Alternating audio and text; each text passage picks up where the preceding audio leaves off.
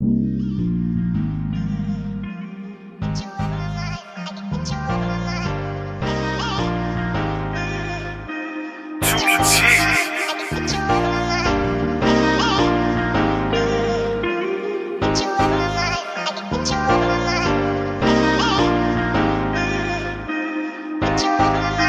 What's up, you guys? What up, my eighth graders? Just want to quickly go over what you need to do and what's required for your eighth for your uh, Thanksgiving packet. All right, here we go.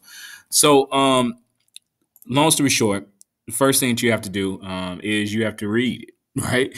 Um, you're gonna number each each paragraph. And just do this first one right here. First paragraph, number one.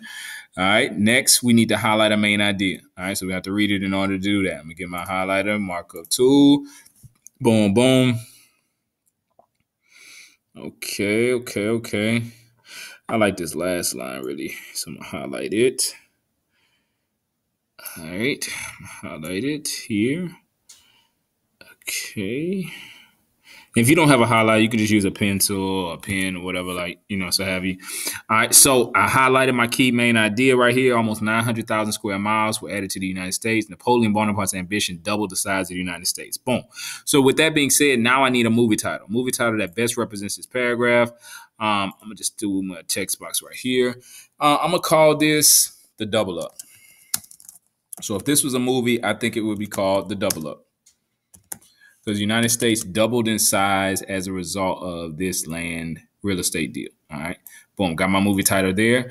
You will repeat this these steps for each paragraph, you guys. After you've gotten through your movie titles, at the end of each section, you got four sections total. Some of them are really short. You answer your check for understanding questions. You repeat the movie titles and answer your check for understanding questions in complete sentences. And you're probably you're going to have to answer your check for understanding questions um, for the end of section one right here and, and all of them on a separate sheet of paper.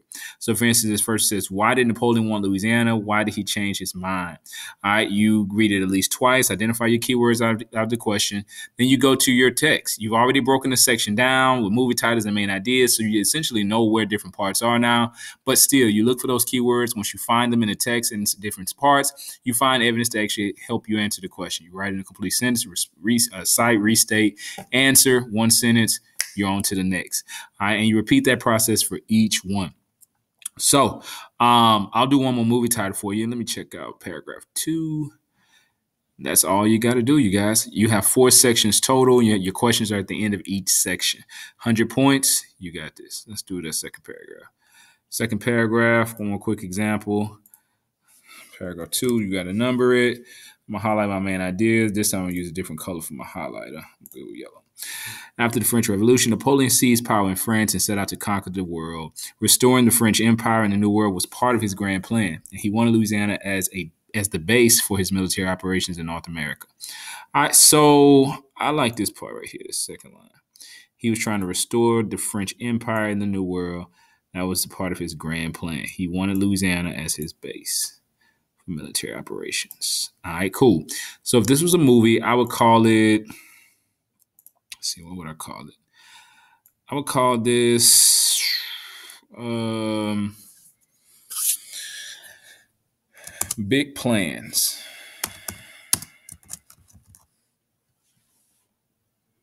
Stretch this out. All right, got my movie title. Oh, big plans, not gig plans. All right. He had big plans for Louisiana, but they didn't fall through. Um, but that's my movie title. And it goes in line with my main idea because he did have major plans for the for the colony. So you're gonna repeat that, you guys. Movie titles, number paragraphs, main ideas highlighted for each chunk, and your check for understanding questions at the end of each section. 100 points. Make sure you write in complete sentences, citing evidence, restating, and answering at the end one sentence type uh, response, one sentence summary structure we use in class for your uh, check for understanding questions. You're going to have to do it on a separate sheet of paper because there's not a lot of room to do the check for understanding questions. But that is it, you guys. If you have any questions, hit me up on Google Classroom and be a little bit more active on there tomorrow. I'll be grading some papers and things and some work. Um, so you can hit me up in the private comments on there or on Remind. And as always, it's great.